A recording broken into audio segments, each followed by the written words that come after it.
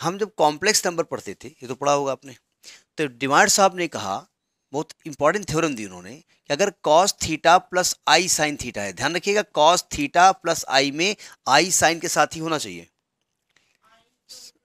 अरे, आपने आयोटा पढ़ा आई बराबर under root minus one complex number में, ये आई है कॉम्प्लेक्स नंबर है ना ये? आई स्क्वायर की value minus one I cube की value minus I I power four की वैल्यू वन है, वही आई है। तो उन्होंने कहा, अगर हम cos theta plus I sine theta करें और नहीं, और इसकी पावर एन करें एन कुछ भी हो सकता है। मतलब नेचुरल नंबर भी है निगेटिव भी हो सकता है, कुछ भी हो सकता है। तो ये एन जो है ना, वो इसके एंगल के मल्टीपल में आ जाता है। मतलब ये बन जाता है cos N theta plus I sine N theta ये बहुत टफ नहीं है। अगर cos theta one plus I sine theta one एक into cos theta two plus I sine theta two multiply करिए।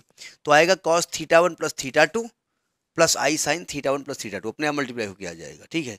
तो अगर एन बार मल्टीप्लाई करोगे तो आएगा theta one plus theta two plus theta three सब जुड़ जाएँगे। और चूँकि थीटा सेम होंगे तो कॉज एन थीटा आ जाएगा। ये डिमांड थ्योरम थी, ठीक है? अच्छा अब ज़रा समझिएगा। अगर आपने ये लिखा मान लिया, इसको आपने जेड मान लिया। मान लिया आपने जेड मान लिया तो ये एक तो रिज़ल्ट ये आपको याद करना है। Cos theta plus I sine theta ठीक है? और आपने कहा जेड की पावर एन क्या होगा? तो इसकी पावर एन करोगे ना? इसकी पावर एन करोगे तो क्या बन जाएगा ये? ये बन जाएगा cos N theta plus I sine N theta अगर आपने कहा कि हम जेड की पावर माइनस एन करें तो? तो माइनस कर दो। माइनस एन को ये भी लिखा जा सकता है ना? वन अपान जेड की पावर एन अगर तो यहाँ पर क्या हो जाएगा? Cos minus N theta plus I sine minus N theta मतलब ये इसका डेरिवेशन हम नहीं बता रहे हैं। डायरेक्ट रिज़ल्ट याद करना पड़ेगा। ठीक है? Cos minus theta plus cos theta होता है और sine minus theta minus sine होता है। यानी कि ये रिज़ल्ट क्या आएगा? Cos cos N theta minus I sine N theta अब सावधान। अगर इन दोनों को ऐड कर दिया जाए, इसको और इसको तो आई साइन थीटा कट जाएगा ना ये प्लस माइनस यानी एक रिज़ल्ट हमारे पास आएगा z की power n plus one upon Z की power N is equal to two cos N theta इसको ध्यान रखिएगा यूज़ होगा बहुत भयंकर रूप से, ठीक है? और अगर दोनों को सपरेट कर देंगे तो सपरेट करने में इसको बाद में लिख रहे हो ना तो इसका साइन बदल जाएगा। तो ये हो जाएगा माइनस, ये हो जाएगा प्लस तो कॉस कॉस कट जाएगा ना। तो अगर आप सेपरेट करते हो तो आएगा जेड की power N minus one upon Z की power N is equal to आएगा two I sine N theta तो इस रिज़ल्ट को हम यूज़ करेंगे बार बार ठीक है? तो ये डिमाज थ्योरम का कंसेप्ट है। कंसेप्ट तो बहुत ज़्यादा है, बहुत डिटेल में ये है, लेकिन फ़िलहाल आपके लेवल में इस कंसेप्ट को यहीं तक पढ़िए। एक और कंसेप्ट मान लिया कहीं पर आ गया ए प्लस आई बी ये कॉम्प्लेक्स नंबर होता ना, कि पावर एन तो क्या इसको ओपन कर सकते हैं आप? ब्रैकेट खोल सकते हैं इसका, नहीं खोल सकते। या तो हम बाइनामियल थ्योरम लगाए तो हालत ख़राब हो जाएगी हमारी। तो इसको इजी करने के लिए हम क्या करते हैं, इसको पोलर फॉर्म में चेंज कर लेते हैं। तो पोलर फॉर्म आपको पढ़ाया गया है इंटरमीडिएट में था, कि ए मालूम है? नहीं मालूम। देखिए, ये है अर्गन डायग्राम। ये रियल एक्सिस है, ये इमेजरी एक्सिस है। ठीक है? अगर कोई complex number A plus I B होगा इसका मतलब यहाँ ए, बी, इस पॉइंट का कोऑर्डिनेट क्या होगा? A comma B. यानी ये दूरी ए है, ये दूरी बी है। ये कार्टिशियन सिस्टम हो गया। भाई, कार्टिशियन सिस्टम में अगर किसी पॉइंट की लोकेशन आपको बतानी है तो आपको एक ओरिजिन लेना पड़ता है। ओरिजिन एक्सिस से पहले एक्स के अलंग चलेंगे ए दूरी, बाद में वाई के अलंग चलेंगे। एक पोलर सिस्टम होता है। पोलर सिस्टम में हम क्या करेंगे? हम कहेंगे, भाई देखो, यहाँ से थीटा एंगल पर थीटा एंगल पर आर डिस्टेंस पे जाओगे तो ये पॉइंट मिल जाएगा। तो इसका कोऑर्डिनेट क्या होगा? आर कामा थीटा ये पोलर कोऑर्डिनेट सिस्टम होता है। आगे चल के सिलेंड्रिकल कोऑर्डिनेट सिस्टम बहुत सारे सिस्टम आएँगे। फ़िलहाल तो यहीं तक है। अब हम चाहते हैं कि जो आपका पहले कार्टिशन सिस्टम था, उसको पोलर में चेंज कर दें। यानी ए बी को आर और थीटा में कन्वर्ट कर दें। तो आपको साफ़ साफ़ इस ट्राइंगल में एक चीज़ दिख रही है कि अगर यहाँ पर हम कॉस थीटा लगा दें तो cos theta A upon R हो जाएगा ना? तो ए को क्या ले सकते हैं? आर कॉस थीटा और अगर हम साइन लगा दें तो बी को क्या ले सकते हैं? आर साइन थीटा तो अगर हम ए और बी की जगह ये वैल्यू रख देंगे तो हमारा सिस्टम आर और थीटा में कन्वर्ट हो जाएगा। इसी को कहते हैं पोलर में चेंज करना। यानी इसको क्या ले सकते हैं हम? R cos theta plus I R sine theta लेकिन भाई थीटा और आर क्या होंगे आपको नहीं मालूम ना? तो उसको निकालने का तरीका क्या होता है? थीटा को गायब करो तो क्या करना पड़ेगा? स्क्वायरिंग एंड एडिंग कर देंगे। तो आर स्क्वायर आएगा A square plus B square यहाँ से आर निकल आएगा। और डिवाइडिंग कर दो तो tan theta is equal to B upon A यहाँ से थीटा निकल आएगा। निकल आएगा ना? तो हम यहाँ पर वैल्यू रख करके आर और थीटा को निकाल करके पोलर फॉर्म चेंज कर लेंगे। फ़ायदा क्या होगा? जब ये वैल्यू या अच्छा आर निकल आया है और थीटा भी निकल आया है आपका। जब ये वैल्यू उठा के यहाँ रखोगे तो क्या बन जाएगा? R cos theta plus I R sine theta की पावर एन बन जाएगा ना? यहाँ से कॉमन कौन है? आर आर जब ब्रैकेट के बाहर निकले तो क्या बन जाएगा? आर की पावर अंदर क्या बचेगा? Cos theta plus I sine theta की पावर एन। और ये अभी बताया गया है डिमार्ड थ्योरम कि इसको लिख सकते हैं आर की पावर एन, इसको लिख सकते हैं cos N theta plus I sine N theta. तो ये तरीका होता है कि किसी भी कॉम्प्लेक्स नंबर को पोलर फॉर्म में चेंज किया जाए और वहाँ पर डिमांड थ्योरम अप्लाई कर दिया। ठीक है, इसे नोट करिए, फिर एक क्वेश्चन लेके हम बात करते हैं। अब इसका हम ट्रिग्नोमेट्री में भी यूज़ करेंगे। और हम कॉम्प्लेक्स में भी यूज़ करेंगे। ज़रा समझिएगा। हमसे कहा गया कि nth डेरिवेटिव आप one upon X square plus A square निकालिए। क्या इसके फैक्टर हो सकते हैं? भाई, हमें nth derivative of linear expression पढ़ा है अपने A X plus B square में तो पढ़ा नहीं हमने। ठीक है। अच्छा अगर इसको हम डिफ्रेंशिएट करें भी, मान लिया एक बार डिफ्रेंशिएट करें तो आएगा आपका X square plus A square की पावर माइनस वन और इसका एक बार डिफ्रेंसिएशन करेंगे तो आएगा minus one X square plus A square की power minus two into two X दोबारा करेंगे तो प्रोडक्ट रूल लगाना पड़ेगा। तो एक ऐसा रिज़ल्ट हमको नहीं मिलेगा, जिससे बाई सिमेट्री हम कह दें कि एन बार में ये आएगा। नहीं कह सकते ना? तो मजबूरी हमारी है कि इसको nth बार nth टाइम जो एन टाइम ना एन टाइम डिफ्रेंशिएट नहीं कर सकते। तो आप क्या करें? इसका फैक्टर भी नहीं हो सकता। तो थोड़ा सा दिमाग हमने लगाया। देखिए, अगर हम इसको लिख दें x plus I A into X minus I A कोई दिक्कत? इसको खोलो जरा। a plus B A minus B A square minus B square तो एक्चुअली ये आएगा क्या? आएगा X square minus I square A square और आई स्क्वायर की वैल्यू क्या होती है? Minus one. तो यानी कि आपका X square plus A square हो जाएगा। यानी कुल मिलाकर के ये ब्रेक भी हो गया लीनियर में और ब्रेक नहीं भी हुआ, देखा जाए कॉम्प्लेक्स कर दिया। अब इसका करेंगे पार्शियल फ्रैक्शन। अब देखो, पार्शियल फ्रैक्शन में क्या करेंगे? A upon this plus B upon this, ऐसे करेंगे ना कभी कभी आइडिया से भी कर लेते हैं। कैसे आइडिया करते हैं? देखिए, आइडिया क्या होगी? ए बी की वैल्यू आइडिया से लगा लेते हैं। देखो इसको अभी हम गलत लिख रहे हैं, सही लिख रहे हैं, हमको नहीं मालूम। इसको अगर हम अलग अलग कर दें ऐसे, कर सकते हैं ना? अच्छा जब एल्सियम लोगे तो ये चीज़ आ जाएगी। और ये आ जाएगा, x माइनस आई ए इधर हो जाएगा, और x प्लस आई ए इधर हो जाएगा। तो ऐसा करते हैं, इसको माइनस कर दें, इसको प्लस कर दें। तो x प्लस आई ए इधर हो जाएगा, और x माइनस आई ए इधर हो जाएगा। अगर हम प्लस साइन लगाते हैं और एल्सियम लेते हैं। तो x plus I A plus X minus I A I I A cut गया, ऊपर टू एक्स आ जाएगा। सुन मेरी बानी आ रही? अगर माइनस लगाते हैं तो x प्लस आई ए और minus X minus I A bracket खोलेंगे, क्या बचेगा? टू आई ए ये बचेगा ना? और टू आई ए से बाहर डिवाइड कर देते हैं। चलेगा? वन अपान टू आई ए यही लिखा है, नहीं लिखा है? ये थोड़ा आइडिया लगा देते हैं हम। भाई, इसको एल्सियम लिया हमने। ये यहाँ पर आएगा एक्स प्लस आई ए और माइनस ये यहाँ पर आ जाएगा एक्स माइनस आई ए और अपान में क्या लिखा है? ये अपान में लिखा है X plus I A into X minus I A जब ब्रैकेट खोलेंगे तो ये माइनस का हो जाएगा, ये प्लस का हो जाएगा, और ये आई आई ए सॉरी ये एक्स एक्स कट जाएगा आई ए टू टाइम्स ऊपर आएगा। तो इसको बैलेंस करने के लिए हमने क्या किया? बाहर डिवाइड कर दिया। तो यही तो लिखा हुआ है। तो इस प्रकार से आइडिया से भी हम लगाते हैं, ठीक है? और आइडिया जब नहीं लग पाती है, तब मजबूरी है हमारी तो इस प्रकार से हमने इसको ब्रेक कर दिया। यानी कि इसको अगर हम वाई मान लें तो आपको डी एन ऑफ़ वाई निकालना है।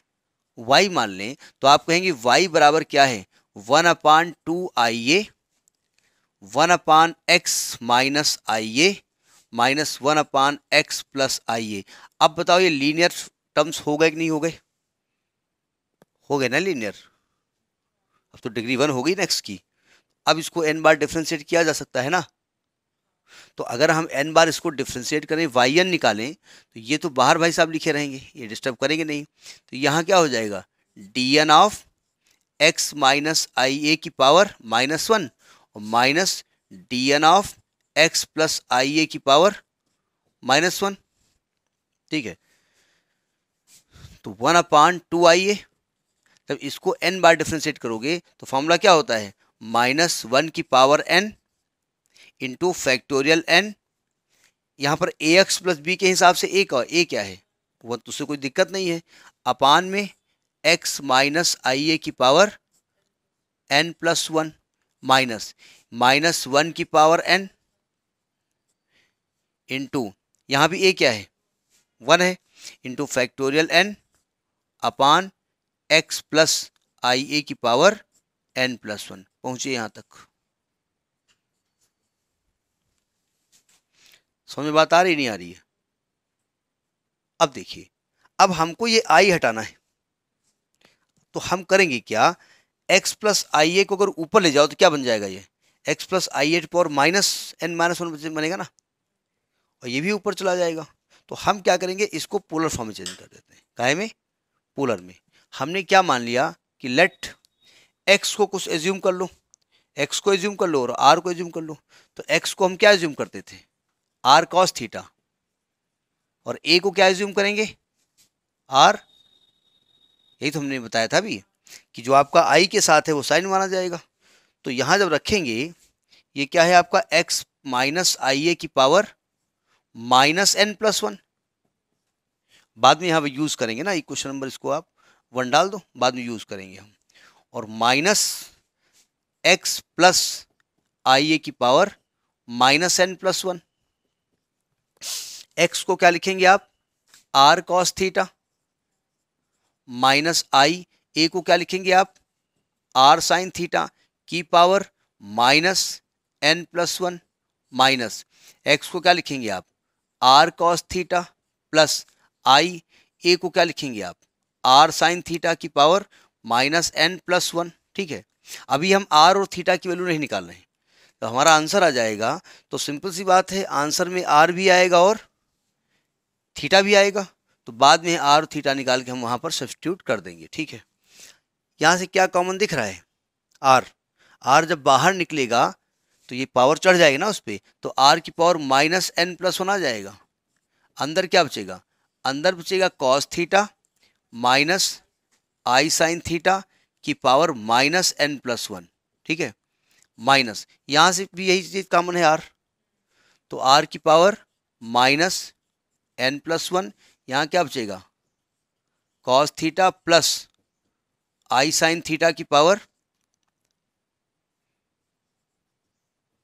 minus n plus one. अब यहाँ पर आप डिमायर थ्योरम अप्लाई कर सकते हैं। अब आप कहेंगे, डिमांड में तो आपने यहाँ प्लस बताया था। माइनस भी चलेगा। कैसे? देखिए, अगर यहाँ माइनस लगा है तो हटाइए अच्छा माइनस को। आर की power minus n plus one हमने पूरे कॉमन ले लिया है, ठीक है? यहाँ देखिए, हमने इसको माइनस को हटाना है। ये कैसे हटेगा? देखिए, ये लिख दें cos minus theta plus i sine minus theta हट गया माइनस अगर इसको ओपन करेंगे तो यही तो आएगा। और इसकी पावर कितनी है? माइनस का एन प्लस वन ठीक है? माइनस यहाँ तो कोई दिक्कत है ही नहीं। तो आएगा cos theta plus i sine theta की power minus n plus one देखिए बेसिक जो आपका एलेवेंथ इंटरमीडिएट का, वो तो क्लियर होना चाहिए। तो ये क्या है? आर की power minus n plus one अब ज़रा यहाँ देखिए। हम डिमार अप्लाई कर रहे हैं। इसका मल्टीप्लाई यहाँ हो जाएगा ना? ये माइनस है ना? तो जब मल्टीप्लाई यहाँ करोगे तो प्लस हो जाएगा ना? तो ये क्या बन गया? एंगल क्या बन गया? Cos n plus one theta ये बन गया एंगल कॉस का। और प्लस आई साइन का भी बन जाएगा। N plus one theta bracket मत क्लोज करिए। माइनस अंदर ऑपरेट करेंगे। यहाँ भी ये एंगल आ जाएगा। तो आएगा माइनस अब डायरेक्ट कर रहा हूँ मैं। जब आप माइनस यहाँ एंगल करोगे तो cos minus theta minus plus cos theta होता है। और माइनस ऑलरेडी पीछे से लगा हुआ है तो साइन क्या हो जाएगा? माइनस रहेगा ना? नहीं, अभी हम इसकी बात कर रहे हैं। जब आप ये एंगल ऑपरेट करोगे तो एंगल निगेटिव हो जाएगा ना? और cos minus theta is equal to plus cos theta और पीछे से माइनस जा रहा है तो माइनस रहेगा ना? तो माइनस का आएगा cos n plus one theta अब देखिए, जब एंगल इससे ऑपरेट होगा तो एंगल इसका निगेटिव हो जाएगा, यानी साइन माइनस थीटा और sine minus theta is equal to minus sine theta minus sine theta. और ये माइनस अंदर गया तो साइन क्या हो गया? प्लस। तो प्लस में आएगा, ये डायरेक्ट कर दिया हमने, sine n plus one theta, ठीक है? ये कॉज वाला टर्म इससे कैंसिल हो जाएगा, और साइन वाला टू आई भी तो आएगा। साइन वाला टू टाइम्स आएगा ना पहुंचिए यहाँ तक। अब देखिए, ये क्या होगा? ये आएगा आपका आर की power minus n plus one into यह आएगा two i sine n plus one theta. या आपने एक्स प्लस आई ए वाला लिया है ना केवल? तो इक्वेशन वन में पुट कर देते हैं। Putting this value in equation one. या using this result, using this result in equation one. Equation one आपका था क्या? एंथ डेरिवेटिव आप वाई का निकाल रहे थे ना? तो ये आया कितना था? ये आया था आपका माइनस वन की पावर एन, हमने कॉमन ले लिया into factorial n upon two i a upon two i a और ब्रैकेट में ये कहानी थी पूरी, ठीक है? तो इस पूरी कहानी को हमने मान करके लिखा तो इसकी वैल्यू क्या आ गई? इसकी वैल्यू आई आर की power minus n plus one into two i sine n plus one theta angle को चाहो तो कर्ली ब्रैकेट में बंद कर दो, ठीक है? ये आई और आई कट गया टू आई दोनों टू भी कट गया ना? तो ये क्या बचा? ये बचा आपका आर और थीटा के टर्म में कॉन्सेप्ट रिलेशन आया। यानी ये आ गया आपका माइनस वन की power n into factorial n upon a into r की power minus n plus one into sine n plus one theta अब क्वेश्चन ये उठता है कि हमारे क्वेश्चन में तो आर थीटा था नहीं, आर था नहीं। हमने माना है ना? तो यहाँ पर आपने क्या माना था? जहाँ पर माना था आपने एक्स इज़ इक्वल टू क्या माना था? आर कॉस थीटा और वाई इज़ इक्वल टू क्या माना था? आर साइन थीटा तो आप यहाँ से आर और थीटा की वैल्यू निकाल सकते हैं। वेयर अब आप यहाँ रखेंगे नहीं लिख देंगे where r is equal to क्या होगा? Under root x square plus a square और थीटा इज़ इक्वल टू क्या होगा? टेन इनवर्स वाई अपान, ये ए था ना ये? A upon x. बस ये आंसर आपका हो गया। मतलब आपको यहाँ आर और थीटा रखना नहीं है। बता देना है कि आर क्या है और थीटा क्या है, ठीक है? नोट करिए। अब देखिए कभी कभी क्या होता है ऐसा ही क्वेश्चन एक आएगा। मान लिया आपसे कहा गया कि d n of tan inverse x by a, इसको डिफ्रेंशिएट एन बार करना है। टेन इनवर्स का डिफ्रेंसिएशन कुछ ऐसा तो आएगा नहीं कि सिमेट्री से आप पता लगाओगे एन बार क्या आएगा। तो हम जरा एक बार इसको डिफ्रेंशिएट करते हैं। इसको आपने क्या माना है? डी एन ऑफ़ इस वाली चीज़ को अपने वाई मान लिया है, ठीक है? तो अगर हम वाई वन करें, यानी d by d x of tan inverse x by a करें तो बता सकते हैं इसका डिफ्रेंसिएशन क्या होगा? टेन इनवर्स एक्स का क्या होता है?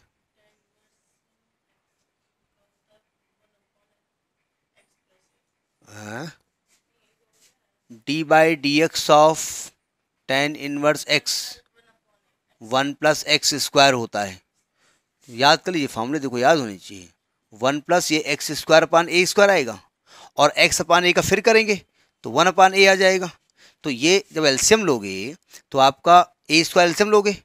ए स्क्वायर ऊपर जाएगा, एक ए कैंसिल हो जाएगा तो आपका आएगा a upon x square plus a square आएगा।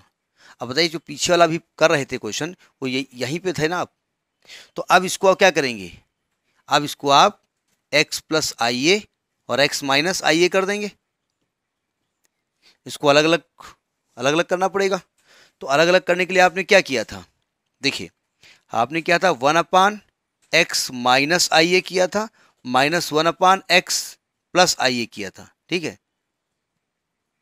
ये ए पहले से है। जब इसको सॉल्व करेंगे तो ऊपर क्या आएगा? टू आई ए तो बाद में बाहर टू आई ए से डिवाइड किया था। ये किया था आपने? इसके पहले वाले क्वेश्चन यही किया है ना? तो अब यहाँ पहुँच गए आप। अब आप कितनी बार इसको डिफ्रेंशिएट करेंगे?